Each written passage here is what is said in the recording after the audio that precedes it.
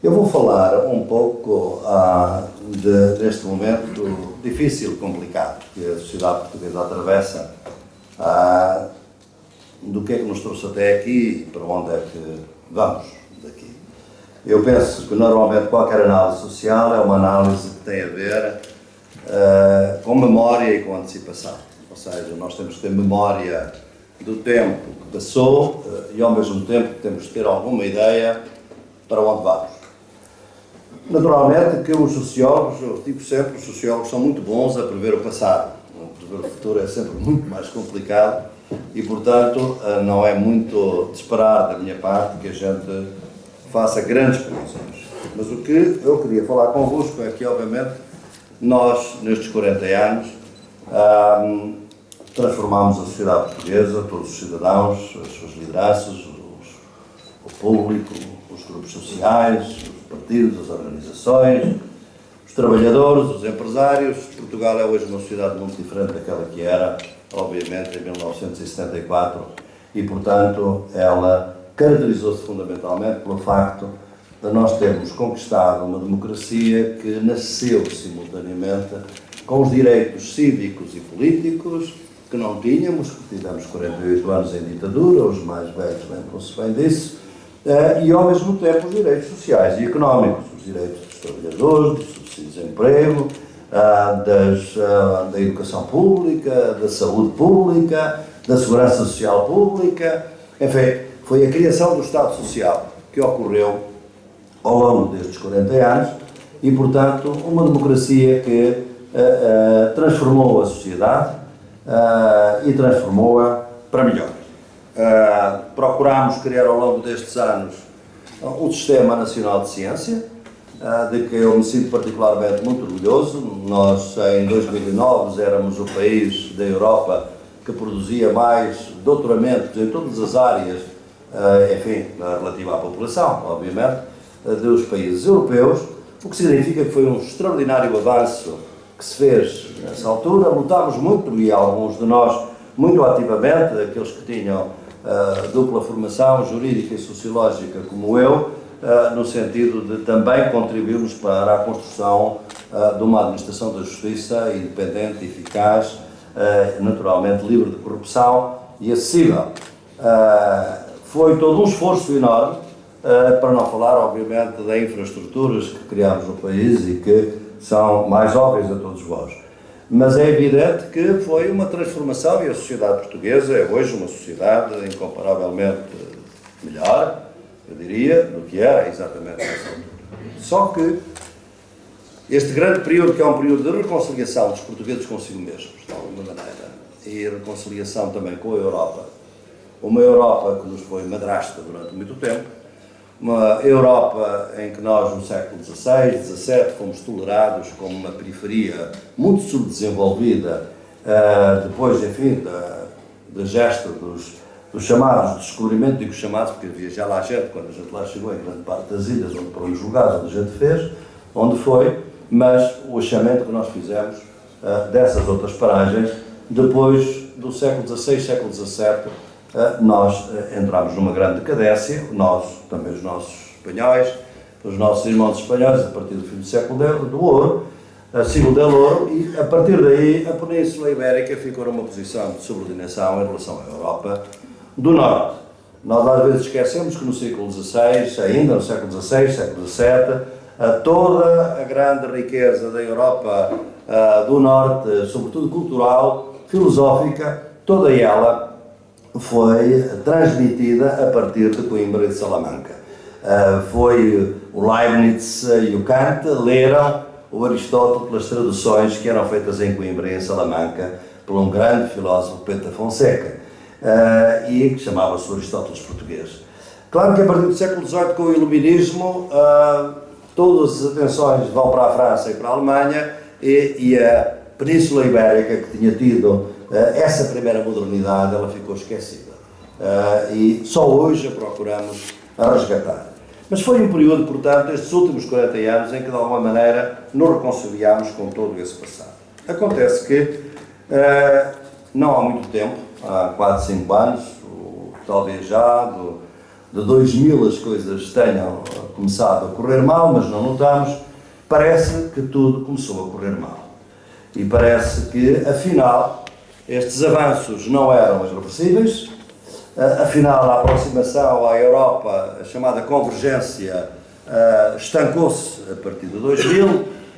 Começamos, aliás, a partir do final da década, a divergir da média dos rendimentos europeus, ou seja, de novo, a caminhar na senda da divergência, e, e parece que, portanto, que muitos destes uh, conseguimentos, vitórias, conquistas da sociedade portuguesa, uh, ou não eram suficientemente fortes para ser sustentáveis, ou, ou, eram facilmente reversíveis.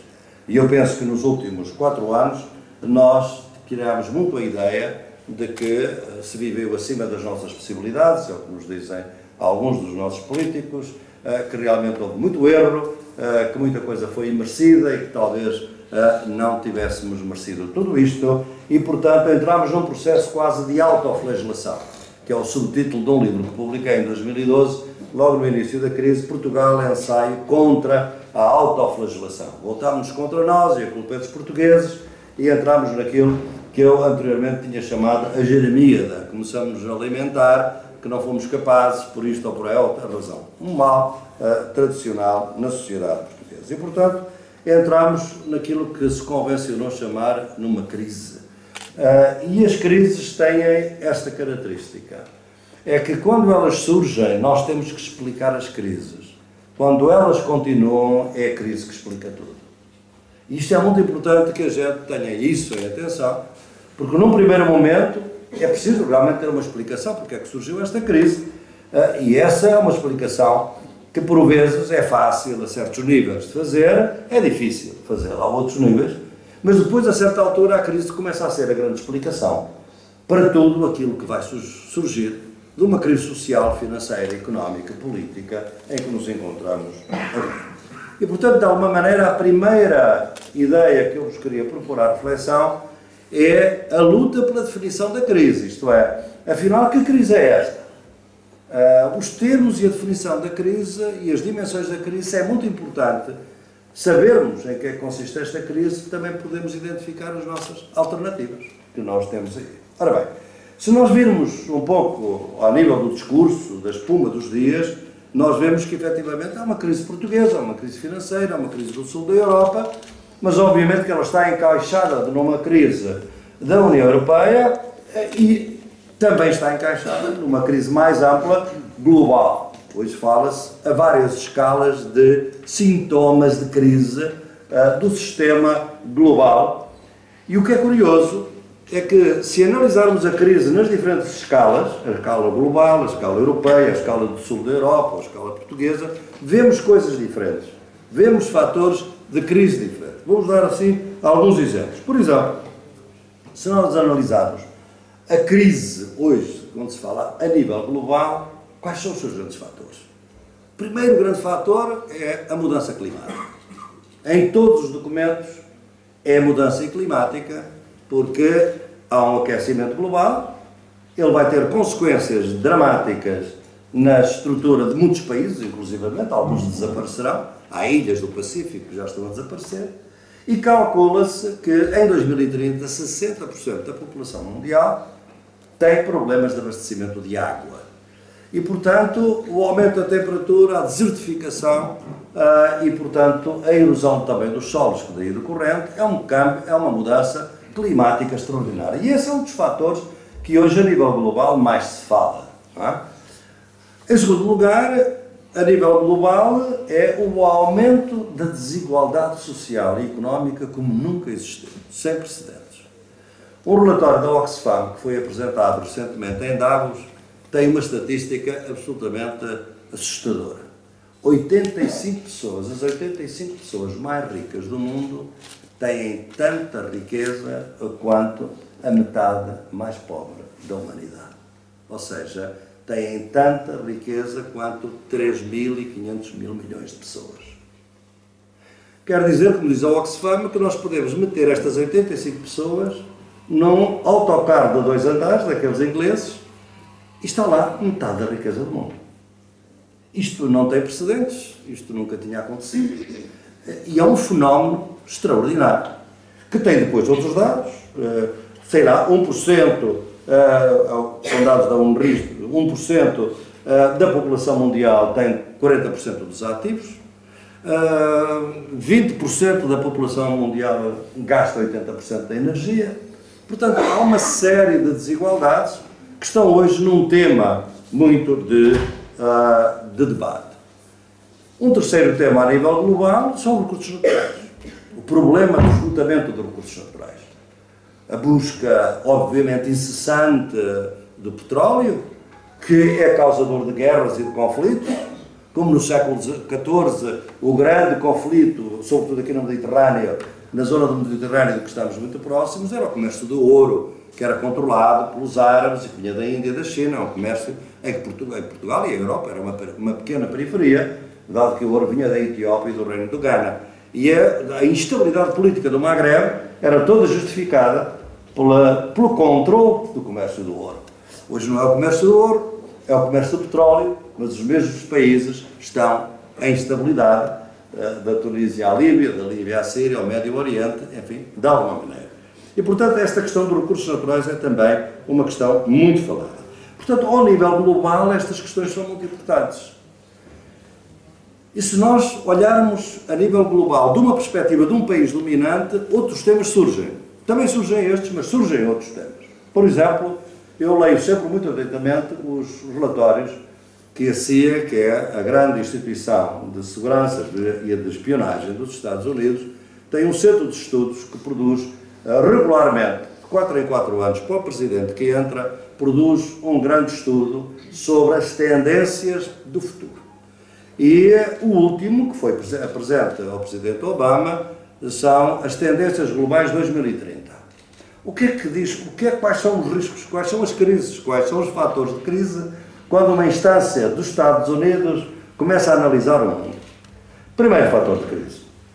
Os países ocidentais, ou seja, os Estados Unidos, o Canadá, a Europa e a Austrália e a Nova Zelândia, neste momento controlam 56% da economia mundial. Em 2030, controlam apenas 25%. Portanto, isto é um fator de risco porque o capitalismo global, que domina o mundo, pela primeira vez vai ter um eixo fora do Ocidente. A primeira economia do mundo nessa altura será a China. Uh, os Estados Unidos vão ser confrontados com a concorrência que provavelmente não são capazes de enfrentar de três ou quatro países importantes. O Japão é um deles, a Alemanha é outro e a Rússia é um outro. Se verdes bem, compreendem agora porque certos incidentes que vão surgindo vão resultando destas análises. Porque é que se fez a espionagem dos telefones da Angela Merkel? É evidente que os Estados Unidos estão com muita atenção a tudo o que se passa na Alemanha, porque a Alemanha é um dos grandes concorrentes dos Estados Unidos. A França também, o Reino Unido também, mas há países pequenos, países grandes e intermédios que também vão ser muito importantes em 2030, segundo eles.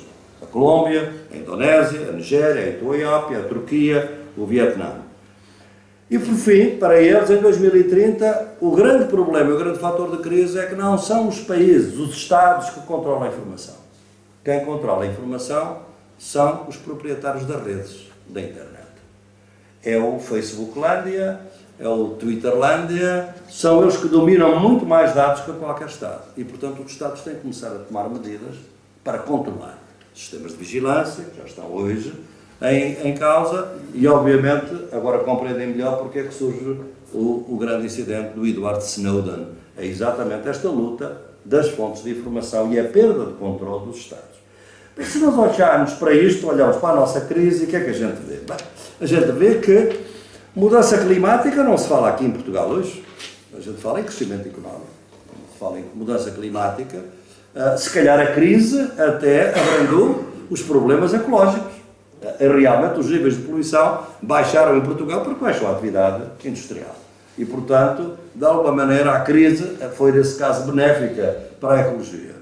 Mas a Europa, a Europa do Norte, que não está em crise económica e financeira, que sempre teve um movimento ecológico muito importante, é o único país do mundo que tinha tido os primeiros movimentos a transformarem-se em partidos, partidos verdes, na Alemanha, muito, muito forte durante muito tempo.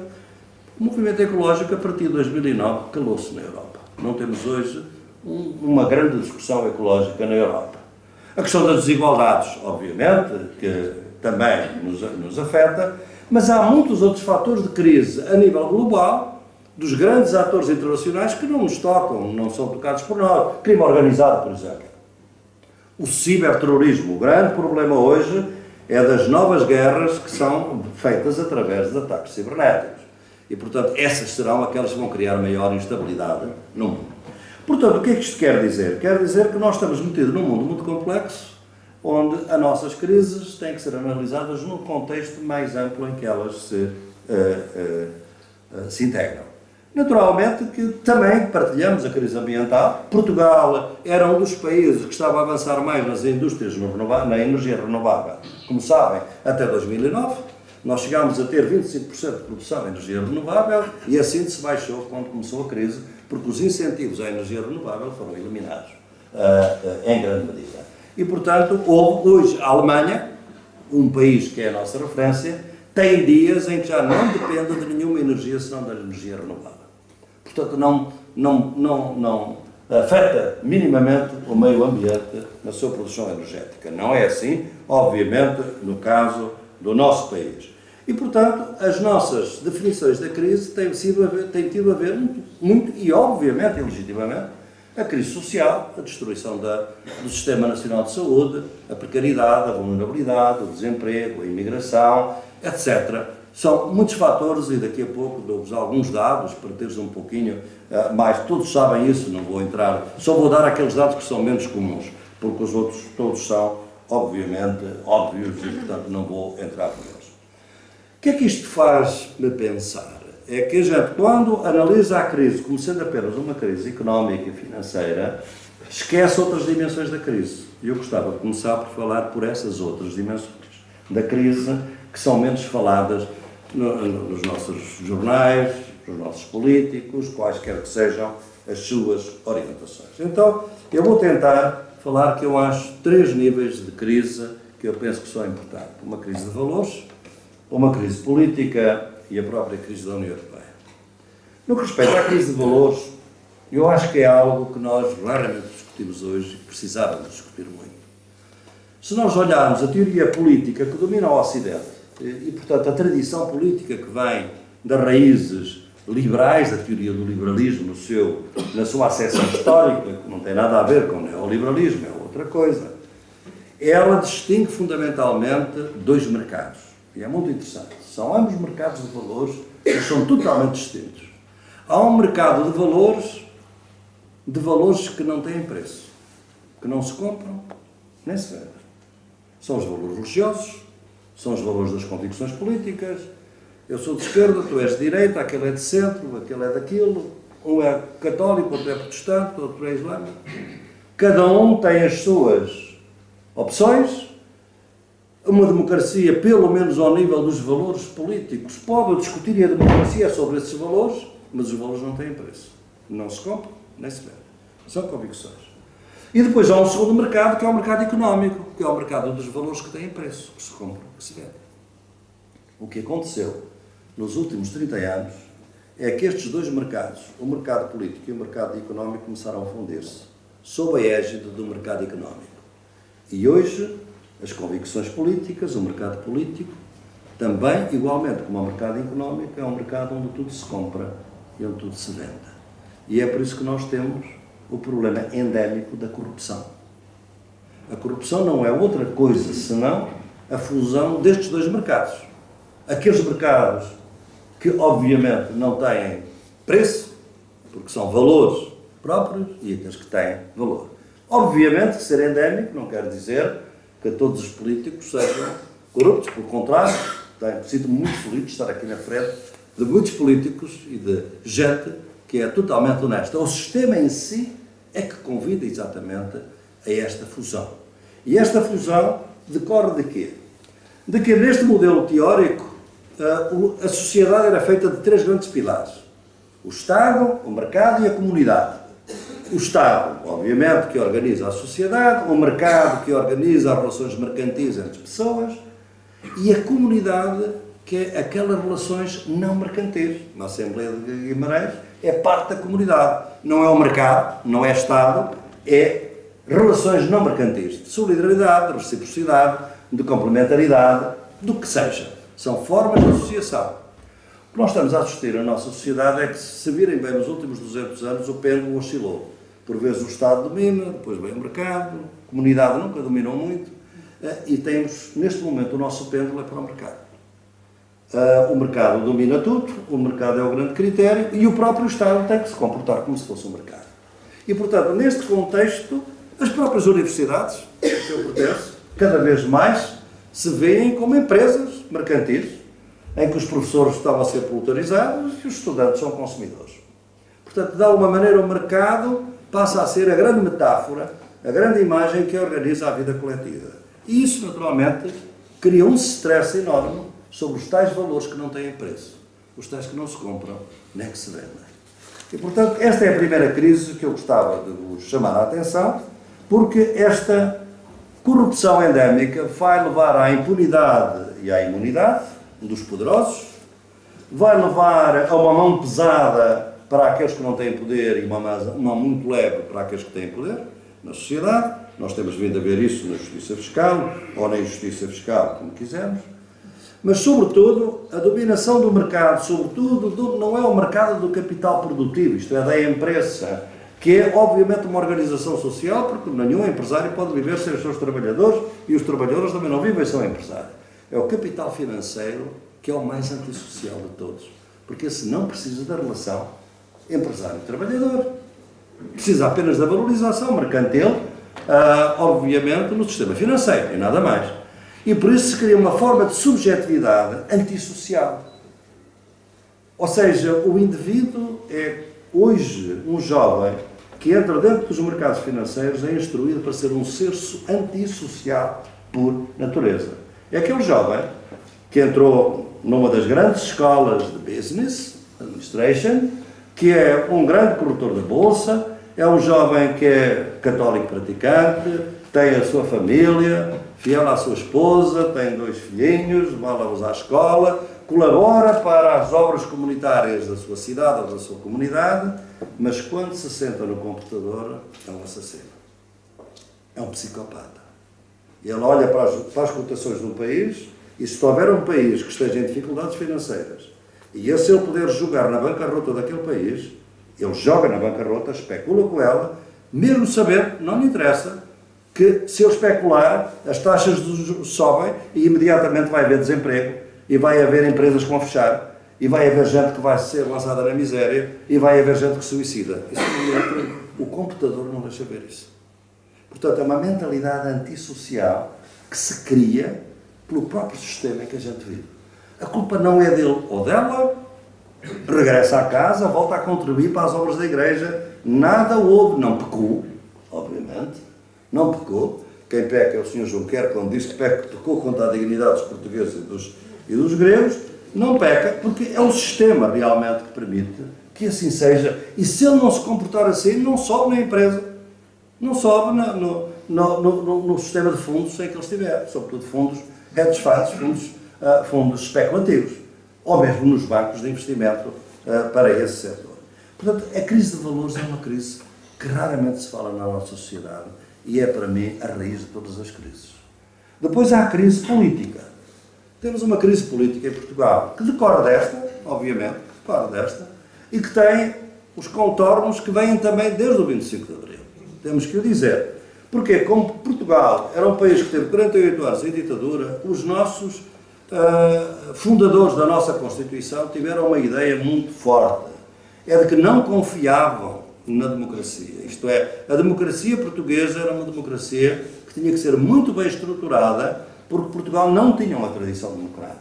E, portanto, ela tinha que ser totalmente controlada pelos partidos. E, portanto, cidadão independente, organizações de cidadãos que queiram intervir na política local, nacional, é anátema para a nossa estrutura política da Constituição que ainda hoje temos. Elas têm-se vindo a transformar lentamente, nesse sentido, noutro sentido, mas de facto é uma estrutura partidária em uma partidocracia completamente que, ao contrário de outros países, não permite a participação de cidadãos que não, que não querem ser militantes de partidos. E o problema todo é esse, é que a esmagadora maioria dos cidadãos portugueses não é membro de nenhum partido. Nem nunca militou, nem quer militar, nem gosta de militar. Mas, no entanto, gosta de contribuir, obviamente, para o bem-estar coletivo na medida das suas possibilidades, individual e coletivamente. Obviamente que, devido à tal fusão dos dois mercados, o mercado político sujeito à lógica do mercado económico, nós estamos e temos vindo a assistir exatamente a problemas de financiamento de partidos que fez com que os grandes interesses económicos penetrassem eh, dentro dos partidos. Não é um fenómeno português, vejam as notícias da Espanha todos os dias, vejam as notícias do Brasil, é um fenómeno sistémico hoje de que os partidos passaram a ser muito vulneráveis aos interesses económicos daqueles que têm, obviamente, no Estado, um dos seus grandes clientes e, portanto, eh, estamos a assistir a uma erosão dos partidos. A credibilidade dos partidos decresce em Portugal. Em alguns países estão a surgir novos partidos daí. Noutros países cresce a extrema-direita, ou seja, que é aquela grande debilidade da democracia. A democracia, pela sua própria natureza, não pode impedir que cresça a extrema-direita que quer destruir a democracia. E, portanto, é um dilema, e com esse dilema temos que viver. Não, não, há, não há que fazer de outra maneira. Mas é evidente que é uma situação muito complicada, nós em Portugal não temos criado mais alguns partidos, não muitos, outros têm ficado pequenos. Ah, na, na, Grécia, como viram, não é assim. Um partido novo, recente, ganha as eleições e é governo na Grécia. Na Espanha, provavelmente, outro partido que nasceu ano passado, de jovens, pode ganhar as eleições, o Partido Podemos, em Espanha. Mas, portanto, há uma crise da democracia e há uma crise de cidadania e há uma crise de soberania. Aqui o professor Adriano Moreira tem coisas eh, notáveis quando ele tem sempre aquela sabedoria de um grande senador deste país e que, que diz, e aqui apropriadamente aqui de, em Guimarães, como ele diz que o problema da dívida em Portugal vem desde a fundação, porque o Dom Afonso Henriques, ao pedir a proteção ao Papa, teve que prometer quatro onças de ouro para poder ter a proteção da Igreja para a fundação do nosso país. E parece que nunca cumpriu essa promessa, nunca pagou, e, e realmente 36 anos depois, o arcebispo de Braga uh, realmente cobrou ao rei o pagamento da dívida que não tinha sido paga. Portanto, 36 anos depois da independência, portanto, vejam, segundo o Dr. Adriano Moreira, estas coisas vêm há, muito lá, há muitos anos, né, e como ele diz, hoje estamos num sistema de protetorado. E é evidente que estamos hoje num sistema de protetorado, uh, porque sabemos que estamos tutelados uh, pela União Europeia e basicamente pela Alemanha, pelas agências de rating, as agências de notação, eh, que normalmente, antes de períodos eleitorais estratégicos, saem com informações estratégicas acerca da credibilidade das nossas eh, economias, das nossas dívidas, das nossas empresas e, normalmente, sempre com o objetivo de favorecer os partidos e desfavorecer outros partidos. É assim em todos os países, é assim na França, porque é que não havia de ser também em Portugal. Portanto, há aqui uma tensão democrática complicada que resulta de uma coisa que é isto: é que nós na Europa vivemos, depois da pós-guerra, um momento extraordinário que não se viveu noutros continentes, em que houve uma grande articulação entre o, a camada empresarial e a atividade empresarial capitalista na Europa Ocidental, não estou a falar do outro lado, e a democracia. Isto é, houve realmente a possibilidade de pôr uma certa consonância entre as duas entidades que têm intenções. O capital, obviamente, quer acumular lucros, não quer distribuir lucros. Como os senhores sabem, os primeiros empresários, quando no século XIX eh, o, o governo inglês quis impor os impostos, as primeiras ações em tribunal pelos empresários era contra o confisco. Então eu ganhei o meu dinheiro com a minha empresa e agora o Estado vai tributá-la. Qual é o sentido disto? Portanto, a tributação era uma coisa estranha para a atividade industrial. Mas foi depois, através da construção do próprio Estado, que começou a ver-se a vantagem de haver uma tributação, de haver uma regulação do capital e de toda a organização económica depois da Segunda Guerra Mundial. É evidente que nos soa agora completamente estranho que as maiores riquezas na Europa, na Suécia, depois da Segunda Guerra Mundial, estavam tributadas até 90%. Que os mais ricos, tudo o que ganhavam, ficavam com 10%. E era muito, não é? Mas 90% ia para o Estado. E também foi, de alguma maneira, assim nos Estados Unidos, não foi com esta intensidade, de maneira nenhuma, depois da Grande uh, Depressão, 1929. Portanto, através da tributação, criou-se um Estado Social, a educação, a saúde, a segurança social e a democracia, que tem esta ideia de ampliar direitos e de dar direitos, pôde conviver numa economia que, por sua natureza, não queria que esses direitos fossem muito expandidos. Bem, o problema foi que não vos vou contar a história toda, é uma história complicada. Ela passa pelo controle da inflação, eh, passa pelo endividamento das famílias, depois o endividamento do Estado, até que chega ao nosso ponto e parece que não há mais solução. Eh, como sabem, houve muita desvalorização deste processo nos anos 70 e 80. Chegamos a 2000, depois do endividamento das famílias, que começa em Portugal e no resto da Europa a partir de 1990, com famílias hoje em muitos países europeus em que as famílias devem, em média, dois anos de salário aos bancos, portanto, um grande endividamento privado e que depois, obviamente, esse endividamento privado não foi suficiente, levou ao endividamento público e a crise transformou muita dívida privada em dívida pública e temos, obviamente, depois o resgate dos bancos. E esta é a situação em que a gente chegou aqui, numa situação bastante complicada. A crise europeia, de alguma maneira, a dimensão da crise europeia em que a gente está, está nisto. Ela, ela caracteriza-se por isto. É que nós entramos para a União Europeia com o princípio de que a convergência ia aumentar. A grande mensagem a todos os portugueses a partir de 1986 foi que Portugal, naquela altura, tinha cerca de metade do rendimento médio da Europa. E, portanto, nós iríamos nos aproximar do rendimento da Europa. E realmente, até 2000, nós cobrimos parte desse gap, dessa diferença. Em 2000 estávamos com 75% do rendimento médio da Europa. Só que a partir daí estancou. E, portanto, a partir daí não avançou. Com a crise, começou a divergência. Nós estamos, neste momento, nesta crise, numa situação em que a Europa é um fator de divergência e não um fator de convergência. É a perversidade em que a gente se encontra é fundamentalmente esta. Porquê? Porque temos países com necessidades muito distintas, sujeitas a uma política comum que favorece certos países contra outros. Ela não é decidida democraticamente. E, portanto, as necessidades de uma Grécia, de Portugal, de uma Irlanda, da França, da Itália, da Espanha, são diferentes da Alemanha ou da Suécia. Só que quem define a política não são estes países, são os países hegemónicos. E, portanto, estamos numa situação complicada, porque seria talvez fácil. A crise portuguesa nunca foi uma crise muito grave, nem em 2009, continuo a dizer isso e disse sempre. A dívida pública era 64% do PIB. Não era de maneira nenhuma anormal, nem era muito alarmante, e outros países passaram por situações muito piores. E, obviamente, se tinha resolvido se não houvesse o fator grego, que foi realmente um fator terrível, e se, quando surgiu a crise grega, ela fosse tratada como uma crise europeia. E, portanto, a dívida grega como uma dívida europeia. Não foi tratada, foi tratada como uma dívida grega. As razões, podemos depois, se quiserem, no debate, discuti-las um bocado, mas a verdade é que isso transformou tudo.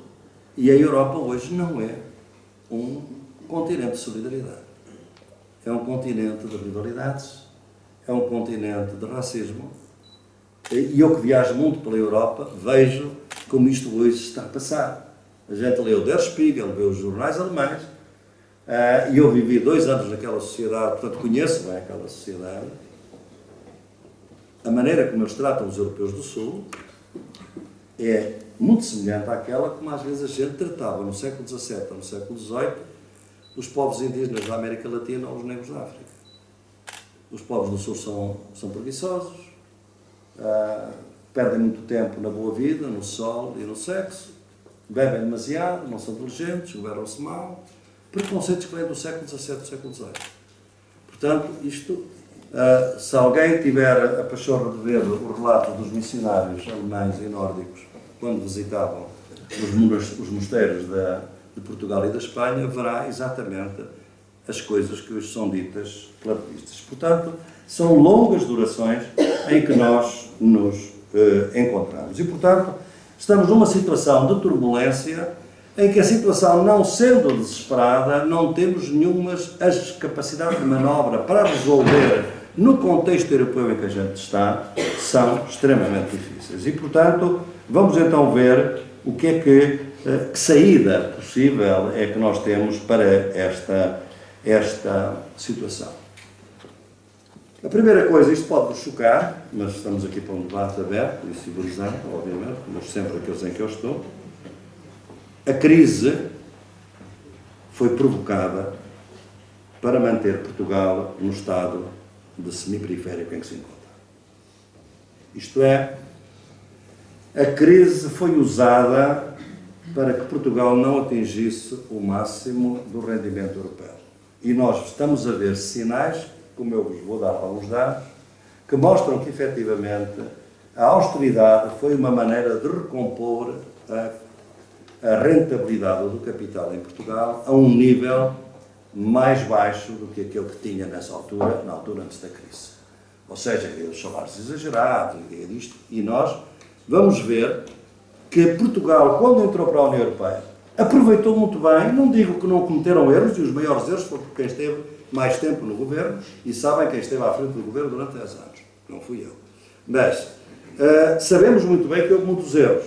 Mas a verdade é que houve uma aproximação, digamos, relativa da média europeia e houve uma coisa interessante, que era aquilo em que nós sempre nos batemos. Se nós criarmos um Sistema Nacional de Ciência, a especialização da industrialização portuguesa e da economia portuguesa vai subir. E, portanto, vai ter mais tecnologia, vai ter mais conhecimento envolvido, vai ser de valor acrescentado, como, como dizem os economistas, mais elevado.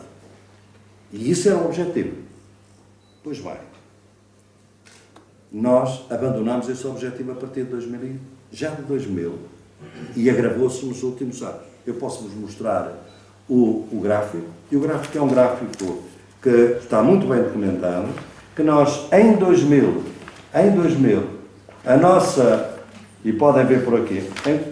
O azul é as exportações de alta tecnologia e esta é a parte de exportações de baixa tecnologia. A parte azul era maior em 2000 que em 2013. E 13, ou seja, era 41,55 e é neste momento 35 e tal. Ou seja, Portugal está-se a tornar um país mais semi-periférico e, portanto, os salários estão a ser achatados exatamente para um nível de especialização mais baixo.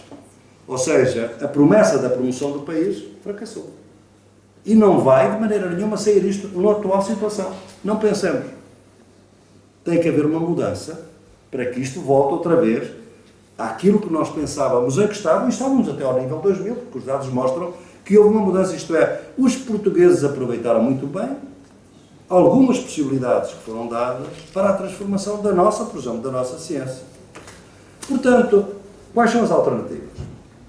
Bem, é difícil vê-las neste momento pelo seguinte, porque nós até às próximas eleições legislativas só vamos ter boas notícias. Se virem bem a imprensa, ela está organizada desta forma. Portugal é o país mais parecido com a Alemanha de toda a Europa. E, portanto, nós somos um êxito. Este sistema de austeridade tem que realmente mostrar que há êxito. E, portanto, há dois países que não se fala, olhem para o Financial Times, olhem para os jornais económicos do mundo, há dois países que não se falam, Portugal e a Irlanda. É um silêncio total, porque é preciso que estas políticas de ajustamento estrutural, que procuraram fundamentalmente dominar o desenvolvimento destes dois países, sejam consideradas como uma política de êxito, porque esta política tem que ter alguns êxitos para poder depois comparar êxitos com fracassos. E os fracassos, naturalmente, vão todos para a Grécia e para aqueles países que seguirem a linha da Grécia. Portanto, nós estamos a transformar em êxito uma política de empobrecimento da população portuguesa. E os dados, se nós pararmos um bocadinho, vejam só estes dados. O risco de pobreza era de 23%, é de 30% neste momento. A dívida pública era em 2007 64%, é hoje 129% do PIB. Como é que a gente, para resolver o problema da dívida, aumentou para o dobro? A dívida não é sustentável, claramente. Uns dados que são pouco conhecidos são as crianças sujeitas a maus tratos, não são apenas as mulheres. Tem aumentado extraordinariamente o número de crianças sujeitas a maus tratos em Portugal. Aumentam os suicídios, aumentam as mortes nas urgências dos hospitais isso são dados que começam a ser visíveis. Mas mais do que isso, nós exportamos os nossos melhores. Calcula-se que são 200 mil, mas são muitos mais. E são os melhores. Isto é, nós passámos 20 anos a formar doutorados de altíssimo nível, que agora quem é que vai beneficiar do nosso investimento? Os países estrangeiros, porque para o nosso nível de salários em que nós estamos a entrar, as empresas estão a reabrir, mas com redução de 15 a 20% dos salários que existiam antes. É o, o tal achatamento que eu vos quero dizer que é o tal harmonização a nível semiperiférico, semi-desenvolvimento, exatamente aí. Abaixo de que essa gente que tem doutoramento vai para fora. Dir-me, mas é bom que eles vão para fora depois voltam. Pois, eu tenho um filho que está nos Estados Unidos, um biólogo, já há bastante tempo. Uh, não sei se isso é bom ou se é mau. O que é bom, o que é mau é isto. É que quando houvesse um lançamento da nossa economia, nós precisamos de técnicos. E nós vamos ter naquela altura. E nós não sabemos quem saiu. Dou-vos um exemplo. Em 2013, a Inglaterra, a França, a, a Inglaterra, os Estados Unidos, a Alemanha, a Inglaterra e a Suíça, que são os três grandes destinos dos nossos imigrantes de alto nível, registaram entradas de 56 mil portugueses. O INE, naquele ano, registrou 53 mil para todo o mundo. Vejam, portanto, o nível de invisibilidade que há aqui. Porquê? Porque muito jovem não registra a sua saída. Muitas vezes para não perder benefícios médicos, de saúde e de residência para a sua família. Portanto, há uma imigração que não é de maneira nenhuma visível. Os cortes na educação foram brutais, obviamente. Nós, foram talvez, por curiosamente, alguém sabe perguntar para um país que precisava e que fez tão notáveis avanços na educação, com os nossos jovens de ensino médio a poderem realmente estar à frente dos suecos em 2009, no seu, no sua capacidade de aprendizagem, na sua excelência, até na matemática. Como é possível que o corte na educação tenha sido superior ao que a Troika pedia? Não se compreende. Não se compreende. Portanto, houve aqui uma uma atitude ideológica de destruir o Estado Social, para além do que era necessário. Estou certo que era preciso muito erro, era preciso cortar algumas coisas, não tínhamos dúvidas nisso. Mas foi-se longe demais. Na saúde, a mesma coisa. Para quê? Fundamentalmente para permitir a criação do setor privado da saúde, que, segundo o Merrill Lynch, é a segunda maior área económica lucrativa no mundo nas próximas décadas. É a saúde. As pessoas envelhecem, à medida que envelhecem precisam de mais cuidados, é um setor extremamente criativo. E, portanto, nós estamos a assistir a uma transferência do público para o privado. Como é que podia ser de outra maneira se o Ministro da Saúde era o gerente dos seguros médicos antes de ser Ministro? Não pode ser de outra maneira. E, portanto, estas verdades têm que ser ditas e alguém tem que as dizer, eu digo-as com, todo, com a necessidade que é preciso dizer-se. E há uma coisa aqui que é complicada. É que o Estado reduziu rendimentos mínimos, etc., solidários, todos sabemos disso, não vou entrar por detalhes. Mas nas despesas da ação social aumentaram as despesas. Porquê é que aumentaram as despesas? É que o Estado, em vez de fornecer os serviços, contratou-os com agências privadas. E ao agir com as privadas, aumentou os custos. Portanto, nós podemos estar a criar um Estado que gasta mais em despesas sociais, mas que tem menos efeito. Precisamente porque há a, a contratação de empresas privadas, lucrativas, não lucrativas, que ficam com parte da rentabilidade deste sistema. Portanto, sistema mais caro e agora temos a ironia. A Comissão Europeia acaba de repreender Portugal de não saber lidar com a pobreza. Os últimos relatórios dizem que os portugueses não sabem lidar com a pobreza. Porquê?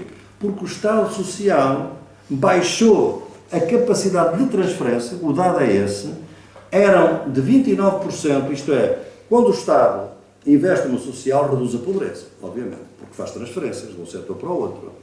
O Estado Social é basicamente uma transferência de rendimentos. Ora bem, a, a, capacidade de reduzir a pobreza por parte do Estado Social era de 29% em 2007, agora 26%. Ou seja, a, as transferências do Estado estão a reduzir cada vez menos a pobreza e é por isso que o fator de pobreza aumentou.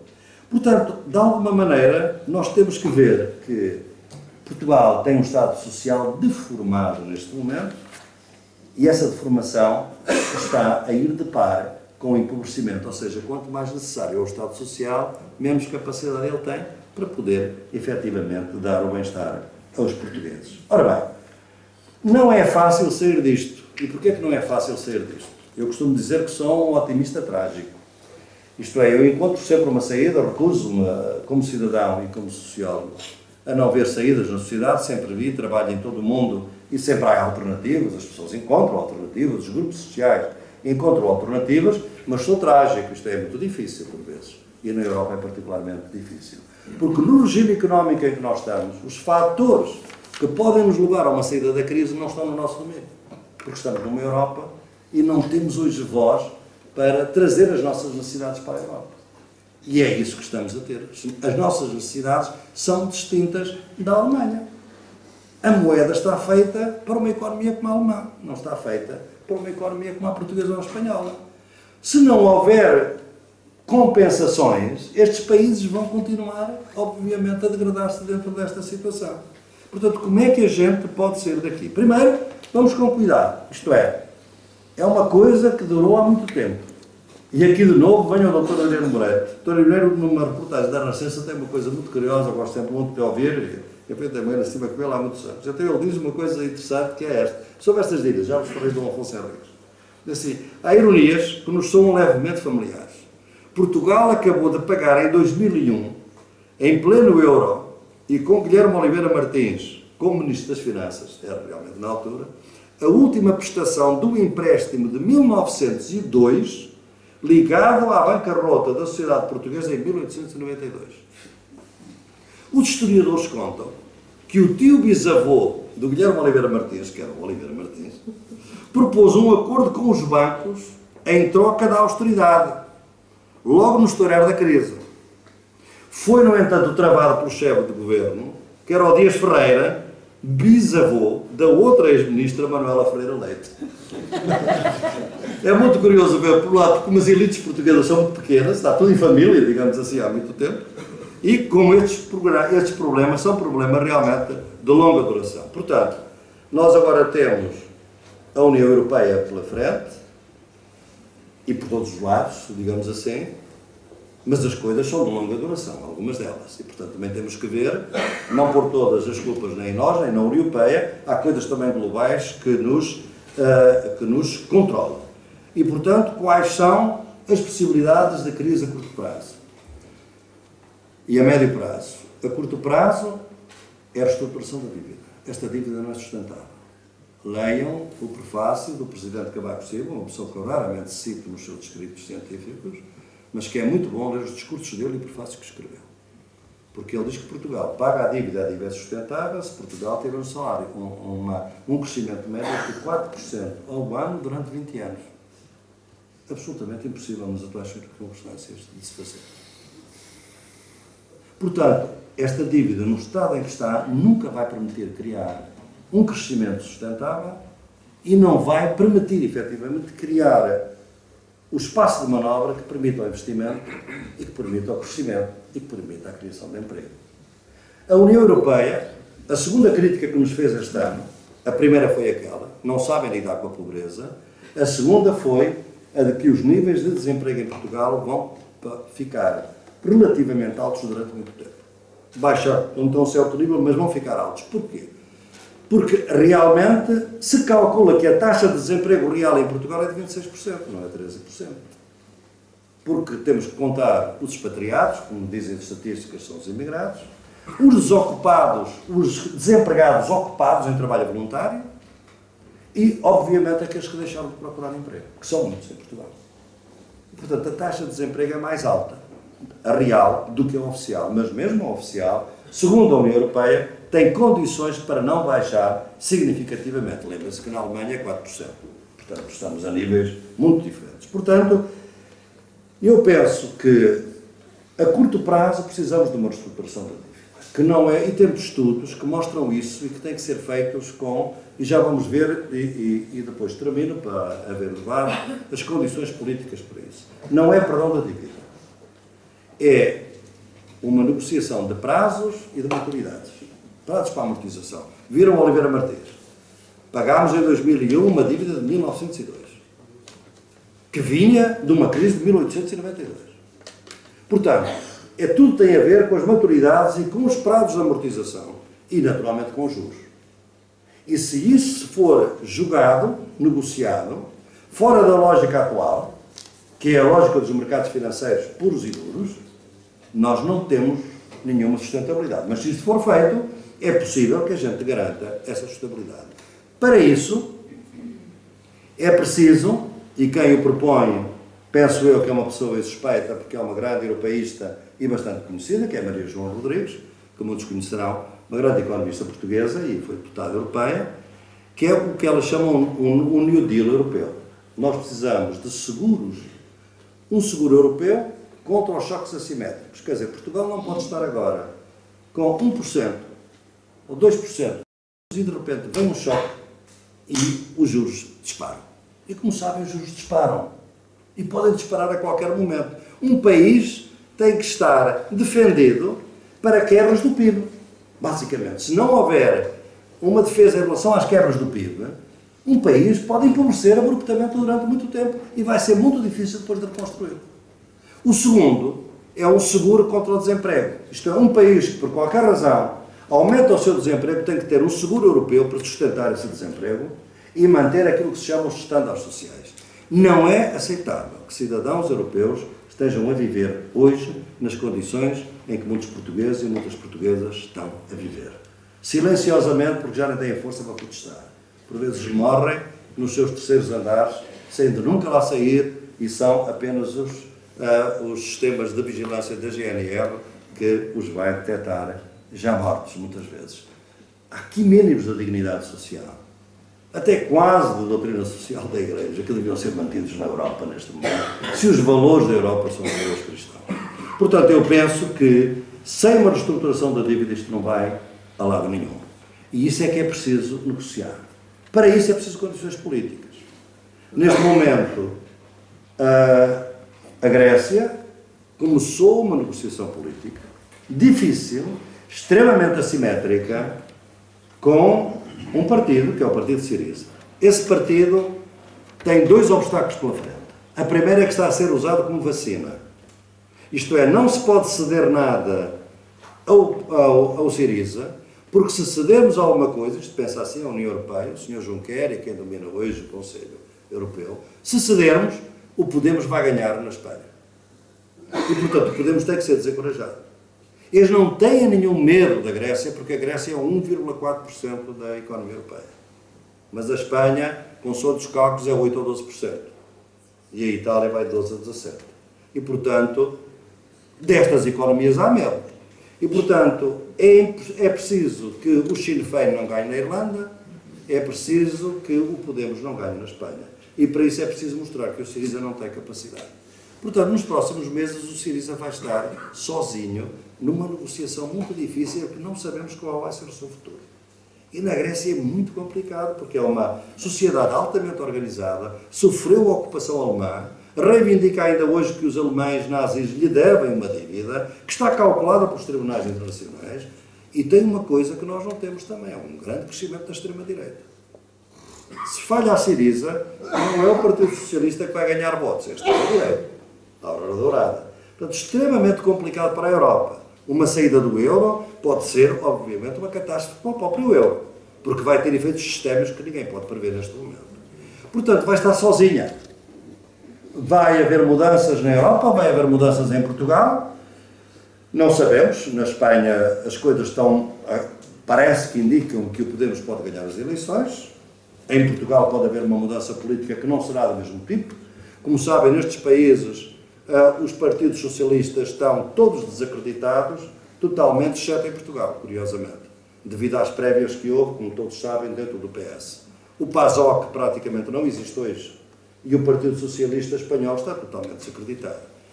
O Partido Socialista Português tem uma credibilidade que decorre do facto de ter feito uma disputa interna e, e portanto, ter hoje um outro secretário-geral e, portanto, uh, pode ter alguma credibilidade. Não sabemos qual, já sabemos qual é, o qual é o jogo. Tudo vão ser boas notícias para captar, obviamente, a qualquer possibilidade de haver uma mudança política. E todos vão colaborar nesse sentido. As agências de rating vão colaborar, os mercados financeiros vão colaborar, as nossas taxas de juros vão baixar. Vai haver indicadores todos muito positivos na fachada. Porque, como sabem, não há mercados livres. Alguém de nós aqui na Europa pode aceitar a ideia dos mercados livres quando de um dia para o outro o barril de petróleo desce para metade do preço? O mercado pode aguentar uma coisa destas? Porquê é que o barril de petróleo baixou tão abruptamente numa semana? Foram os mercados? Foram os países exportadores que espontaneamente houve uma crise? Não. Foi fundamentalmente aquilo que eu vos disse há bocado do estudo da CEA. Isto é, os Estados Unidos e a Europa sentem-se que são dois blocos económicos em declínio. Porque em 2030 são 25% do comércio internacional. Para isto tem que se unirem. Por isso é que está aí o Transatlantic Investment Commerce Partnership, que vai ser extremamente destrutivo para a economia portuguesa, no meu entendimento. Mas isto também podemos, no debate, poder dizer por razão é que eu vejo assim. Mas é uma ideia de união que tem uma, uma componente fundamental, é isolar a Rússia. A Europa, como sabem, estava a receber o gás natural a partir da Rússia. E todos leram nos jornais que a EDP começou a comprar gás natural nos Estados Unidos. O objetivo é exatamente isolar a Rússia, porque a Europa tem que ficar mais dependente dos Estados Unidos. E daí a crise na Ucrânia.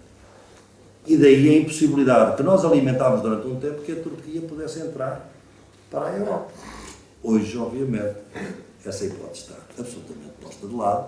Nunca mais ninguém pensou nisso, nem a Turquia gostaria, neste momento. E é mau para a Europa e é mau para a Turquia, é meu entender. Portanto, nós vivemos uma situação de bifurcação, isto é, as coisas podem ir em duas direções. Ou vai haver uma mudança na Europa a médio prazo, porque a curto prazo, como digo, tem que haver uma reestruturação da dívida. A, meio prazo, a médio prazo, temos que criar o tal New Deal. Isto é, tem que haver alteração dos tratados orçamentais. Não faz sentido que a gente tenha tratados orçamentais sobre o déficit quando apenas 4 dos 28 países cumprem os déficits. Então, porquê é que a gente continua com uma norma que só 4 países cumprem? Não faz sentido nenhum. É ideológico. É para impedir que o Estado tenha despesas sociais. É para permitir que os serviços sociais sejam todos privatizados. Educação, saúde, segurança social. É para isso que o modelo está orientado. Portanto, a crise é utilizada como argumento para produzir esse efeito.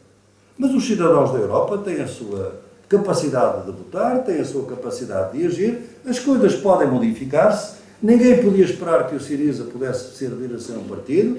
Não sabemos o que é que vai acontecer. Pode, pode desaparecer na próxima semana, não sabemos.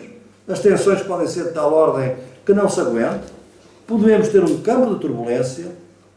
E se houver um campo de turbulência excessivo, eu sou um europeísta. Eu gostaria que houvesse uma solução europeia, tenho dito sempre. E essa solução é aquela que eu prevejo. Não sou um soberanista à moda antiga, penso que neste momento não temos condições para o fazer o que vejo é o seguinte: se a divergência continuar e se continuarmos com uma moeda e com uma estrutura económica financeira que só favorece uns países e vai desfavorecendo todos os outros países, aquele, aquele estudo da CIA tem razão, que eu não vos mencionei isso, mas menciono agora. Um dos fatores de crise que eles dizem é que não têm a certeza se em 2030 a União Europeia ainda existirá.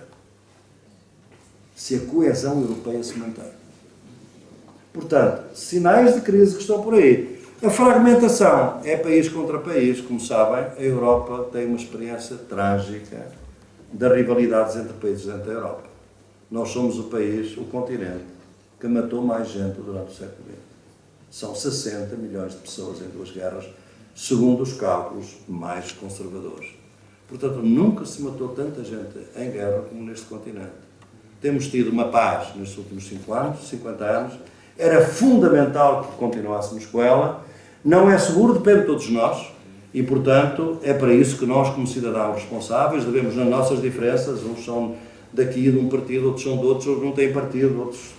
Todos nós devemos contribuir para que não venham as piores soluções, porque as piores soluções têm sido extremamente violentas e extremamente destrutivas para todos os europeus. Muito obrigado.